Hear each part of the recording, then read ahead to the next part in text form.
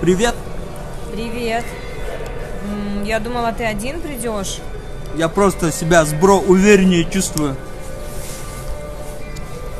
Может, все-таки вдвоем? Ну ладно, бро из Вянки, мы с ней вдвоем погуляем.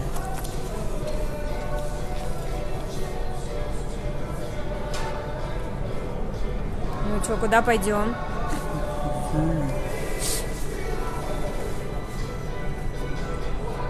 Ладно, зови своего друга.